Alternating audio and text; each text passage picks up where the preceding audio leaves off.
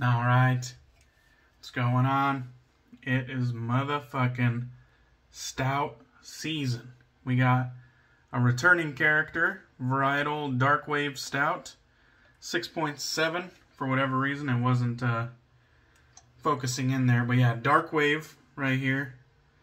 Very nice looking uh, can. Somewhat simplistic, but yeah, this is just, I believe this is just straight up stout. So let's crack this open, see the color on this bad boy. Stout season, baby. The weather is a changing, and uh, I couldn't be more happier. As soon as the weather starts getting cool and crisp, oh fuck. Gets my fucking nips hard thinking about that shit. that means it's almost hunting season. I fucking love that. Mm. Big roast. Big roasty. Little bit of like dark chocolate going on. It's it's a little bit bitter. Really good shit.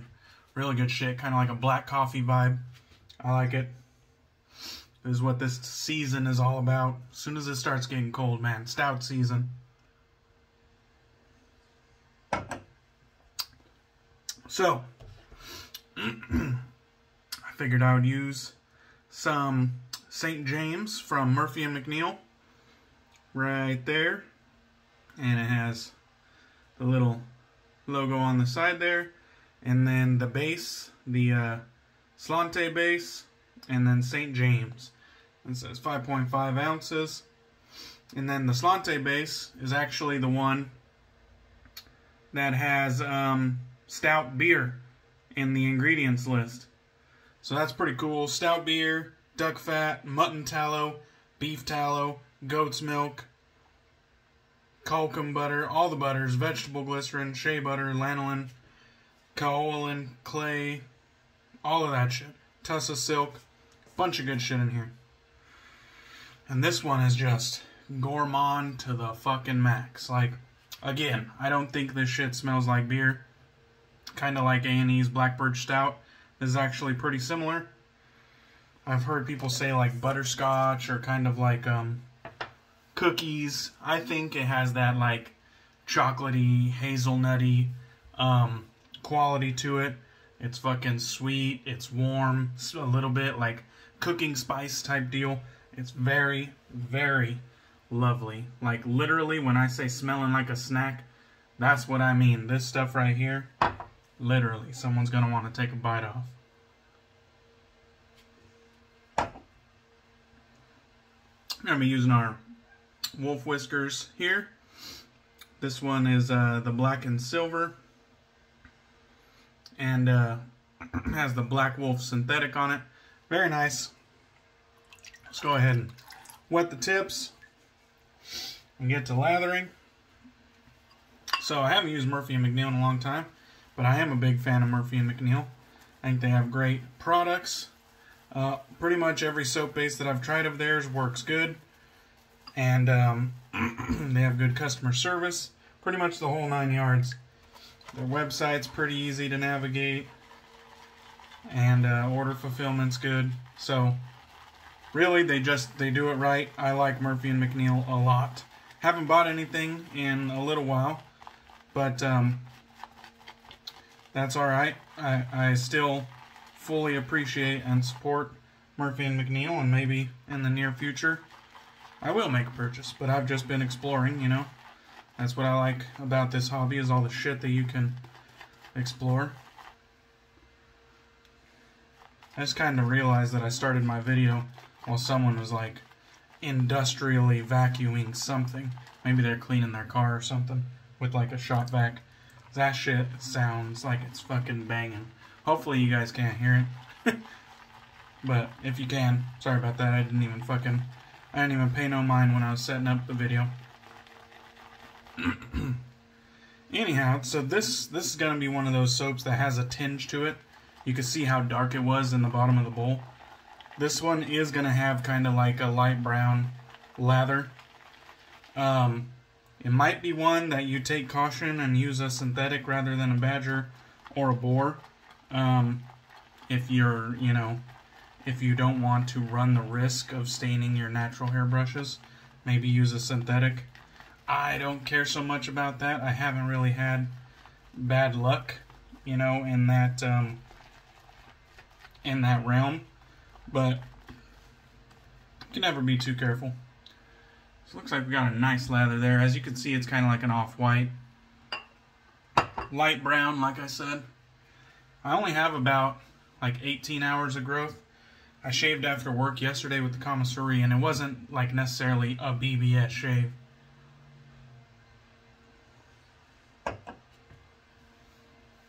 I didn't get as much irritation as I thought I was gonna get. It's actually, it's actually all right. Um, possibly an ingrown hair right here, or maybe it's just, you know, a blemish because all the beard oils I use. Who knows? But um, I figured 18 hours was enough. I can visibly see growth on my end, and so I figured since I didn't get BBS last night, and I can visibly see it, there's enough to shave. We're shaving. so last night, I had um, two of my buddies over. We uh, were drinking some Oktoberfest beers and enjoying a few cigars. it's uh, that was uh, really nice. We had a good time. Um, this morning, I was a little bit slow out of bed, but had a cup of coffee and that quickly subsided. I think I have a I think I have a shit ton of lather here and it looks good. It looks dense. It looks creamy. And I just know it's gonna be slick and protective. So no troubles here. I have used this before in the past, and um, I'm a huge fan of the scent on this bad boy. I'm telling you, I have the matching splash. I could not imagine a soap that you didn't need an aftershave splash for um, more than this one. And I'm not talking about post shave feel, although the post shave is quite nice. I'm talking about like scent strength. You really can't expect your soaps to hang around long on you. Um, it's not what like they're not meant to be colognes. They're just meant to kind of give you a little bit of scent during your shave. But this this soap is fucking kicking and screaming I mean, it is banging. The the scent strength is way out there. And um, once you once you rinse off, wipe off, it's still gonna be around. Like this shit is gonna stick to your skin until you fucking wash it off. And don't, don't even same with the clothes. If it gets this collar line, will not stop smelling like this. Even if it's like a week from now, you put it up to your nose, you will smell it. And just the soap. Don't even get me started with the aftershave. Alright, so the infamous return right there of the fucking Rockwell. God fucking damn it. Hopefully it's focusing on your end, but yeah. The infamous return of the Rockwell 6 Shady. Because Lord Shady, a subscriber of mine, and a cool dude on Instagram. Shady sent this to me because he heard me bitch and complain one too many times about giving my Rockwell to my friend and never giving it back. So he sent me this all black um, stainless Rockwell 6S, and um, I still had some of my um, my stainless, you know, kind of matte stainless um, base plates left over, and so I figured I would do the shady and put the uh, two different color, um, like a different color base plate head and handle, and we're using the R5. And so, yeah, I got the black and silver uh, Raiders Rockwell right here, or the Rockwell 6 Shady, as it is now going to be known. Thank you, um, Joey, for doing this for me. I really, really appreciate it. You're a fucking badass. And we're going to be using a fresh Polsilver blade in this bad boy because back in the day when I had my Rockwell, that was my go-to setup was the Rockwell 6S on plate 4 with the Polsilver blade. And that, I really credit that setup to making me, technique-wise, a better shaver. Like, when I got the Rockwell, I had such success with it. It was so smooth, um, forgiving. I felt like I was able to learn and grow with it.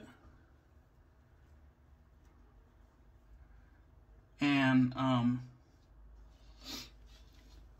not that I was changing plates all too much, because I started doing, I started with like the two plate, and then I went to the four plate, then I went to the six plate, and I was like, okay, six plate, maybe a bit much, and then I went back down to the four, experimented with blades, and once I found what I liked, I stuck with it for a while, and I just got good. Like, I just got good at shaving, and when my technique started finding a rhythm, and once it started clicking, that was it. Like, I went from getting weepers and irritation every shave to getting no weepers, no cuts, no irritation on a regular basis. I mean, everybody's going to mess up from time to time, but it, it became a much higher, like, success rate that I was getting good shaves that I was proud about and happy about. And, um, the Rockwell 6S really did that for me. Like, for me, $100 at that time was like, I just bought the most luxury razor I could even fathom at the time. And, um, like, I knew there was more expensive shit out there, obviously, but at the time, at my stage in wet shaving, which was pretty early on, I couldn't imagine having a more expensive razor, considering the shaves I was getting. I was enjoying the fragrance and the ritual, but I wasn't getting good shaves necessarily. The Rockwell literally like I think it like put the it cemented my feet in this hobby, if that makes sense.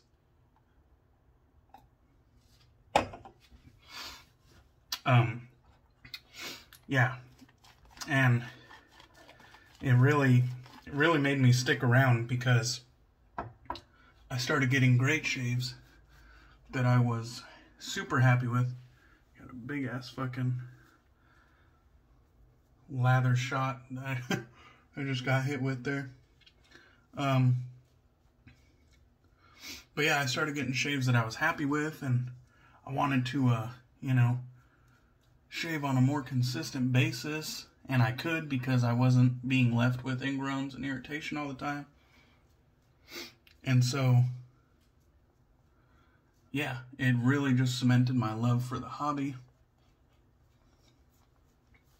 And so I really credit Rockwell with making a quality razor at an affordable price.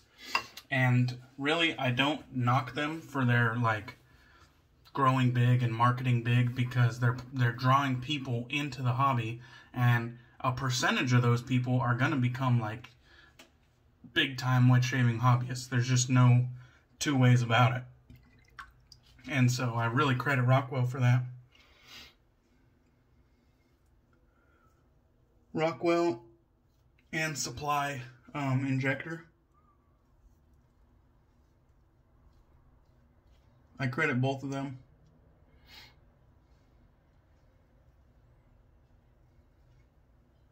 For doing that. And um, I have no problems with them being the gateway to uh, wet shaving.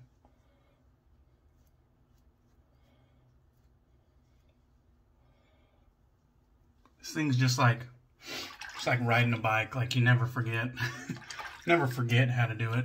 It. It's fucking, it's kicking ass. It's phenomenal.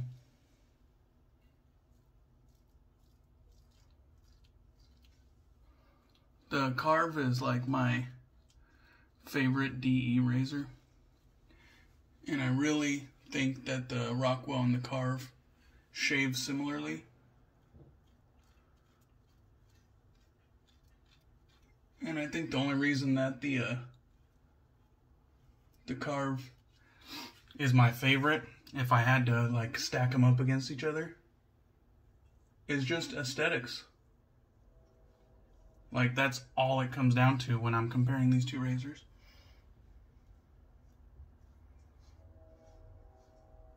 I think they shave really similarly, but aesthetically, you know, the Carve just has a little bit nicer um, fit and finish and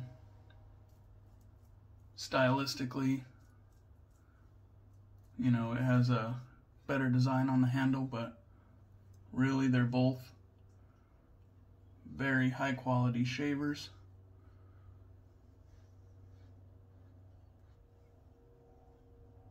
Looks like I took the head off of that, whatever it was. That's alright. We knew that was a risk. but yeah, fucking happy to have this back in my den.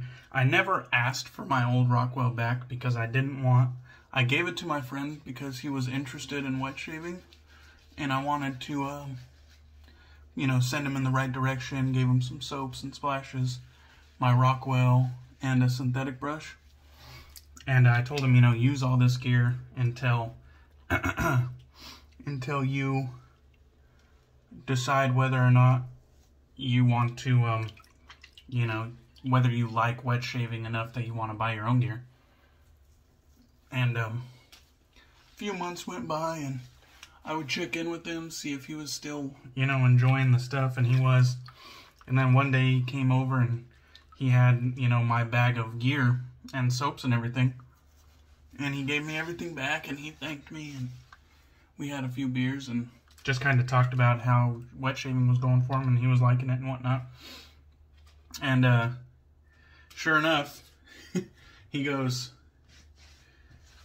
he uh, he left and I opened up that bag of gear so I could put everything back on the shelves. And uh, sure enough, motherfucking putting all my soaps away, put my shaving brush back up on the shelf, and uh, like, where's my Rockwell? What the fuck, you know? Everything he gave everything back, literally everything except for my Rockwell. I was like, the fuck.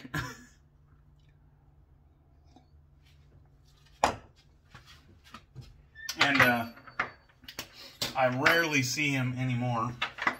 But um, I never asked for it back because in the Rockwell's absence, you know, I got the carve and I was really picking up steam with my love for the hobby and I was just acquiring all kinds of shit. Soaps, razors, brushes. I was picking up steam and uh, I didn't need the Rockwell. I wanted it back, but I didn't need it. And um, if he was enjoying his time in the hobby, and the Rockwell was helping him, you know, remain interested in shaving this way, I, I, I you know, I, I wasn't gonna take that away from him. And so I just forgot about it.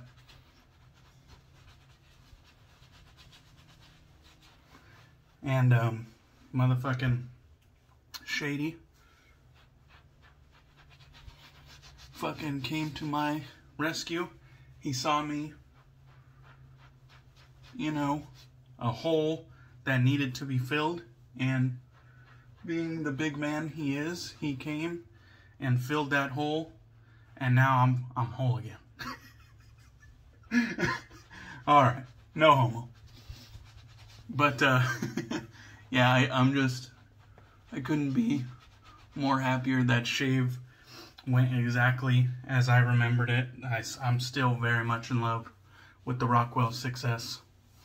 If you have friends or coworkers or whatever that are interested in wet shaving and you want to point them in a direction for like a starting point, point them towards Rockwell. You know, if they have a sale, you can get, I believe the 6S is $100.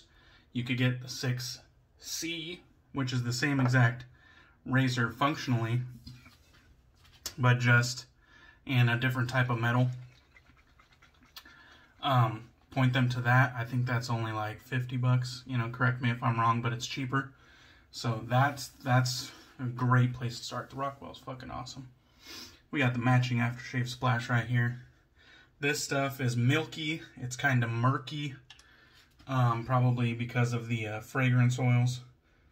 But um, I promise you, this shit is gonna hang around. And I'm gonna be smelling like a fucking snack everywhere I go. Like literally. Hide your kids, hide your wives, and hide your husbands because they're gonna be wanna they're, they're gonna be wanting to fucking take a bite. I guarantee it.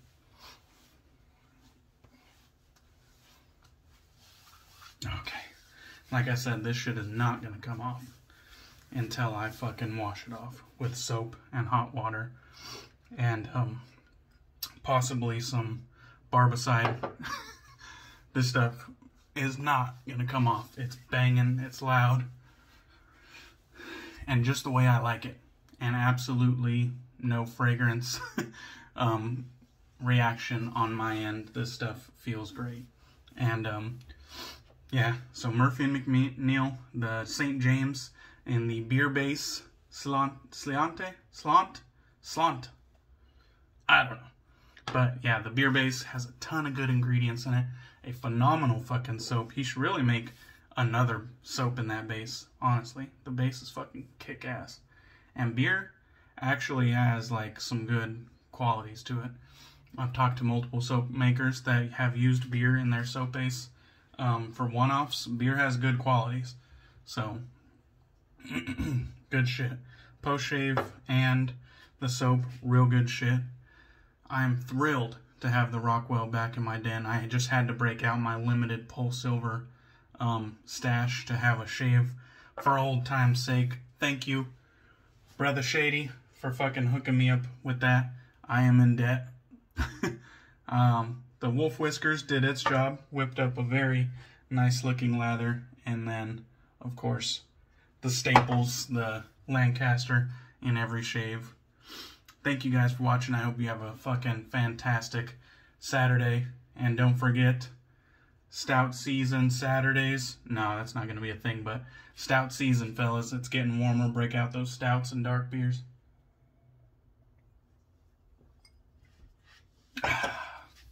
All right.